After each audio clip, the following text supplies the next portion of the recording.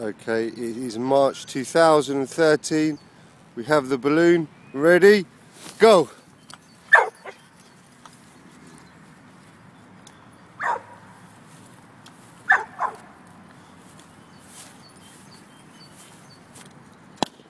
Uh-huh.